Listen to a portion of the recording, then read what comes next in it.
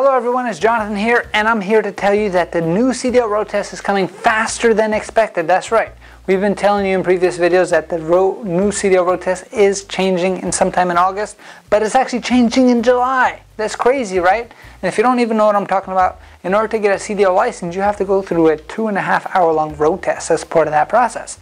Now, the road test has been the same for a pretty long time, and the, for whatever reason, this year they're deciding to change it. We've been told that August was the actual change date.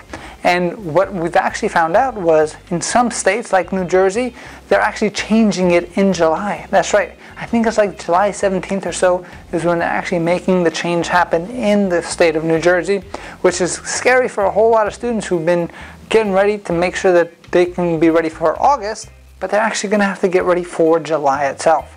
Now, the cool thing about coming to a school like ours here at Driving Academy is we have our own third-party testing site, which means if you don't want to take the new test in July, which means it's going to be a lot harder to pass the test, and you probably don't have the proper training for it, maybe, just maybe, you can go to a third-party testing school who does testing outside of the state of New Jersey like we do, wink wink, and then in that case, you can actually wait till July 28th, and that's when the actual test will switch over in the testing facility facility that we're testing in itself.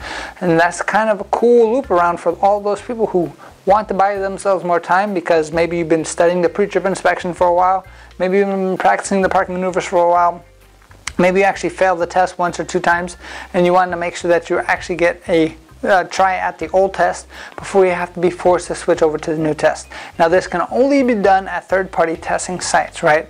So here at Driving Academy in our Linden location, uh, we do have access to our third-party testing site and you're able to go through that testing site uh, in, in the meantime and you don't have to worry about the new test happening in July.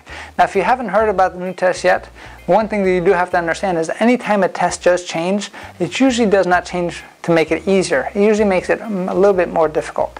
So these are the changes that are going to be happening. We don't know all the details, but this is what we do know.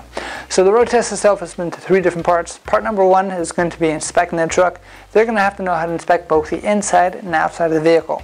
That is going to be changing a little bit. The script's going to be changing. They're going to be uh, reducing the amount of items that you're going to have to say, but they're going to give you more details per items to actually talk about, which means more each item is going to be worth more, which means if you make less mistakes, you have the potential of still failing the test very easy.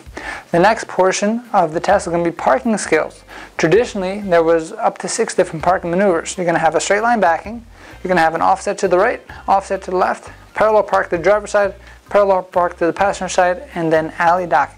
Out of those six, they're going to test you on three of them. Definitely a straight line back, definitely one of the offsets, and uh, either going to be a parallel or an alley dock. Now it's completely different. Now the first maneuver is going to be a pull-up, front bumper stop. Then it's going to be followed by a straight line backing. From there it's going to be followed by a right turn. And then it's going to be followed by like an offset parallel mix, right? So those are going to be the four main maneuvers that you're going to be tested on, which can make it more difficult if you've been training on the old way this whole time, right? The other thing that's going to be happening is the road test. That's the third portion of the test, and that's the only portion that's not going to change, right? So they're talking about a whole lot of changes in that first two portions, and if you don't pass one of those first two portions, it doesn't matter how good you are driving on the road, because you won't even get the chance to go on the road itself.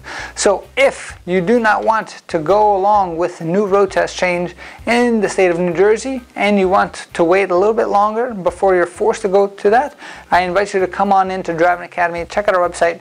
We have a limited road test test available before the actual test does change in July because we are pretty booked out. But if you do want to take advantage of that, make sure you go to our website or give our team a call. 908-525-3609 because the road test is changing in just a few short days here in New Jersey. And if you want to try to extend it and buy yourself some more time come on over. We can definitely help you out. Give our team a call. We'll guide you through the whole process. 908-525-3609 and then we will start training you for that old test and make sure that we transition you to the new test if we have to. If you don't give us a call in time because we might be already booked out. Thank you and I'll see you soon Hey, thank you so much for watching this video. If you like it, make sure you hit that like button. Also, subscribe to our channel. It's really going to help us out. Click on that button. And if you want to continue yourself on your road to freedom, here's more videos to watch. There's endless amounts. Hopefully we get to see each other one day very soon. Thanks.